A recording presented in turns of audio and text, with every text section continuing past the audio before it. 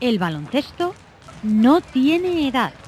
Esto es lo que esta mañana han demostrado los vecinos mayores de San Sebastián de los Reyes, a Fernando Romay, al alcalde de la localidad y al director general del Mayor de la Comunidad de Madrid.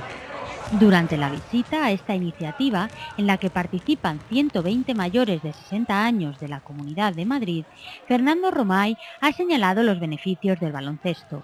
En primer lugar, el que tiene cualquier actividad deportiva, ¿no? Porque si mueves tu cuerpo y lo tienes ágil, digamos que eres, podríamos decir, menos mayor que, que si estás apoltronado, ¿no?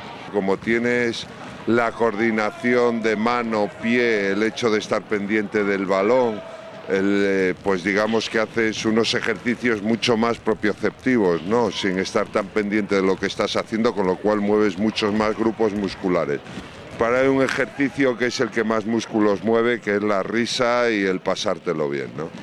Los participantes notan las ventajas de practicar un deporte desde el principio, como apunta esta vecina.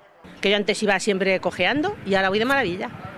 El programa, por tanto, es una buena manera de fomentar los hábitos de vida saludables entre este colectivo y de mantenerse en forma.